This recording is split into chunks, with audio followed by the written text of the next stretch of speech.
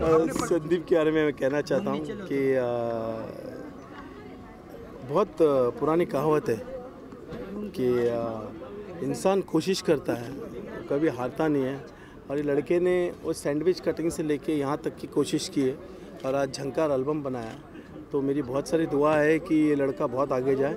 इसके हर कुछ प्लान इसने मुझे बताया है कि हर तीन महीने में एक एल्बम करेगा, फिर पीजी नॉट अलाउड करके मूवी कुछ प्लान कर रहा है।